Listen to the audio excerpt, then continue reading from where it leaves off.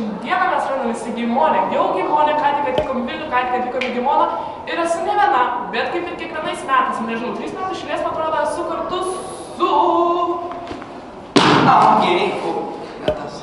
Su Dovydu Linku. Tai uh, jo kanalas, kas daug suprašymė, arba tenai viršui kažkur, bet tą pusę nežinau. Bus, kaip visada bus. O dabar nieko nelaukiam. Einam ir žiūrėkim, kas gero Gimonė. Jau eina? Jo.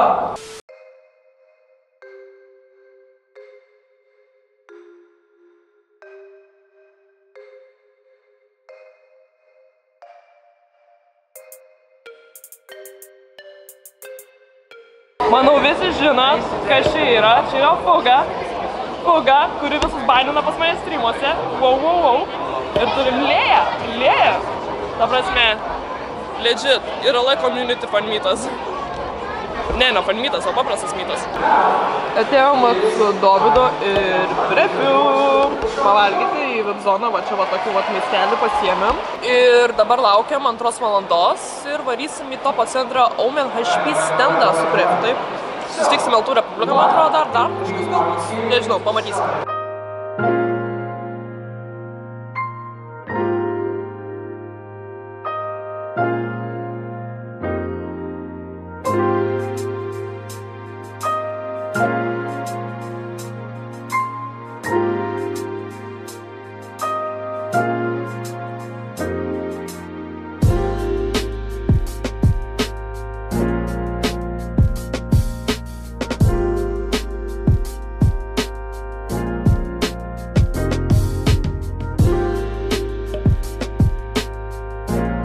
Ok, ką tik baigiau topo centrą HP Omen stende būti. E, labai malonu, lemva, kiek jūs ten susirinka, nežmoniškai daug.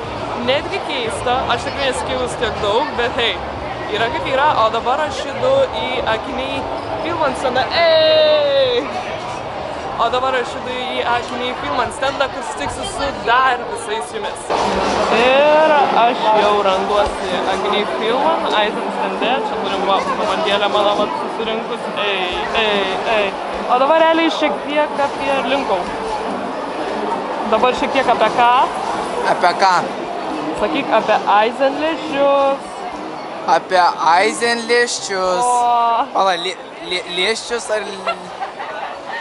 O dabar šiek tiek norėčiau pašnekėti apie Eisenleish technologiją, kurią turi ir mano akiniai dėka filmų. Neabejoju, kad kiekvienam mūsų yra labai svarbu saugoti savo akis nuo kenksmingų spindulių, kurių gauname kiekvieną dieną naudojant tokius prietaisus kaip telefonas ar kompiuteris. Jie skleidžia mėlynus spindulius, kurie labai kenksmingi mūsų akims. Dėka Eisen technologijos šie lęšiai padeda sumažinti akių nuovargį ir įtampą, apsaugo akis ir mažina akių lygų riziką, palengvina fokusuoti smulkius objektus iš labai arti, padeda gamintis miego hormonui melatonui ir padeda sutvarkyti miego ritmą. Bet svarbiausia, turi filtrą, kuris nepraleidžia kenksmingų spindulių mūsų akims. Jeigu norite sužinoti daugiau apie Eisenlešius, nuorodą į filmą akinių puslapį paliksiu aprašymę, kur galite rasti dar daugiau informacijos.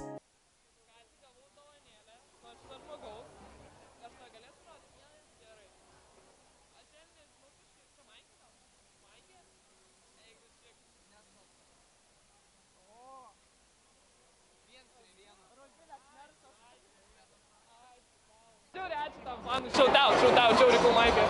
Aš myliu bebe.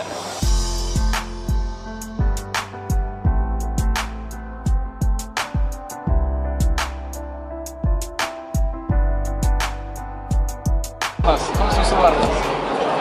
Vitas, gerai. Tavęs nesimato. Ką žinote apie griuksą? Gerai, ant kokios platformos tave streamina? Twitch ir YouTube. Mes čia darom interviu apie tave. tave. Interviu apie mane.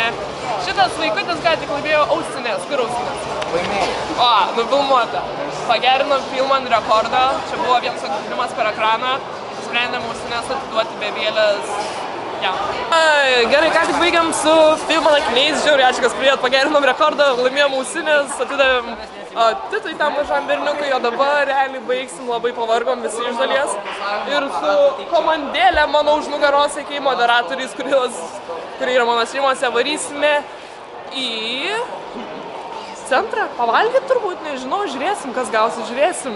Gerai, susimatysim, kai jau važiuosim, mane Jo, viskas baigėsi. Taip, taip. Nu, Taigi, atvarėme maką, nes suši eksprese nebuvo vietų. Tai va, Sakė, valgo maką. Na ką, aš jau esu namuose, tiksliau ten, kur apsistojau, ten, kur mane priėmė mano draugai, pažįstami, nežinau kaip pavadinti. Ir mes matysim jau rytoj, antrą gimono dieną ir aš einu kažką veikti turbūt.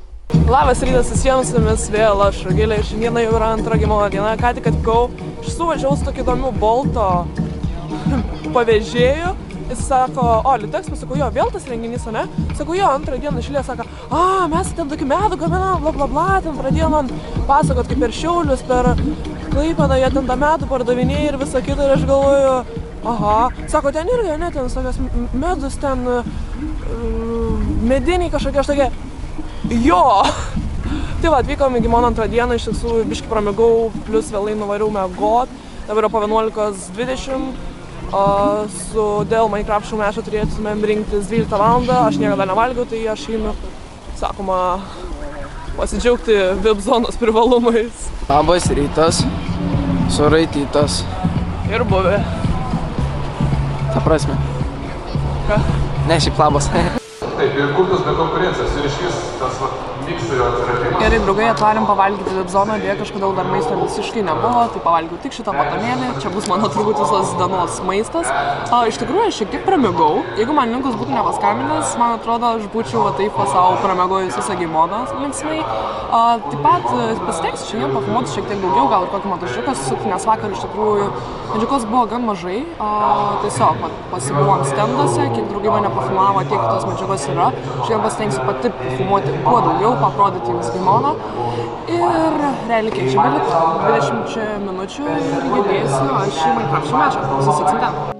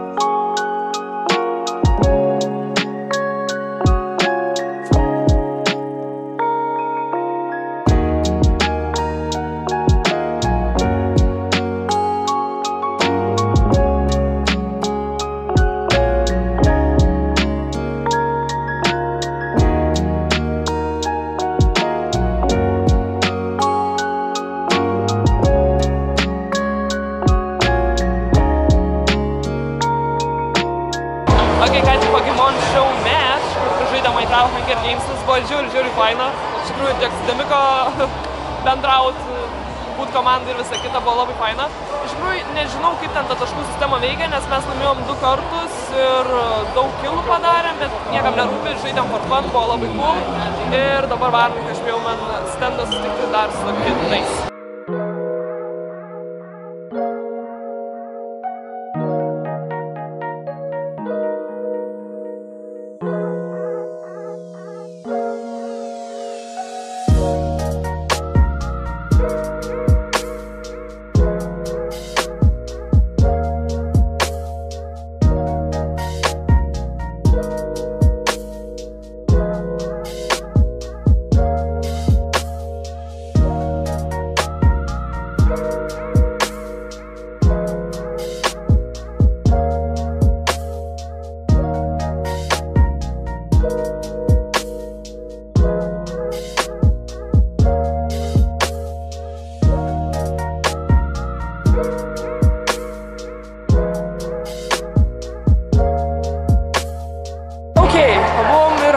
Pijau men ir baigęs visas gimonas, nu, man tiksliau baigęs, kadangi aš buvau į traukinį kartu su Linkom ir mes jau, spėkit kur? Ogi, prie traukinio. Sėsim ir važiuosim ir jūs matysim šiuliuose. Sveiki. Okay, žodžiu, aš jau esu namie realiai. jau nuo gimimo praėjo, neįsivaizduoju, viena, dvi, trys, keturios, penkias dienos. ir filmuoju atsisveikinimo šio video pabaigą tik dabar neatsisveikinimo. Nu, jo atsisveikinimo šiam video dėl, tik dabar po penkių dienų, dėl to, nes aš visą savaitę su visą prasirgau. Grįžus namo, iš traukinio, aš nieko nebefilmavau. Man buvo va tai, aš buvau, turėjau temperatūros, temperatūra buvo užkilusi iki 3-8. Tai va tokios mano stakelis, bet šiaip, hei, apie gimimą, tai viskas buvo cool, man visai patiko, aš labai žiauriai, žiauriai buvo faina, jūs tiek sutikti, jūs neįsivaizduojate, kiek jūs ten buvote, iš visų pakabinės, tai hei, gurkštė, gurkštė, aš tokia, hei, labas, fanas, nusiborkina, nusiborkina, pasirašyk man ant rankos. Nu, žodžiu, buvo labai cool, man patiko su visais jumis pabūti ir ačiū labai gimonai. O jezu, kas čia atsitiko, neįsivaizduoju, bet hei, man patiko, visiems patiko, gal ir nepatiko, nežinau, mačiau jau tiek dalykų, man atrodo, įkėlė video, kad nepatiko. Realiai savo kūno nuomonę išsakysiu savo streamo metu, kuris bus būtent dabar, kai baigsiu šitą filmuoti. Ir tiek. Apsirgau, susirgau,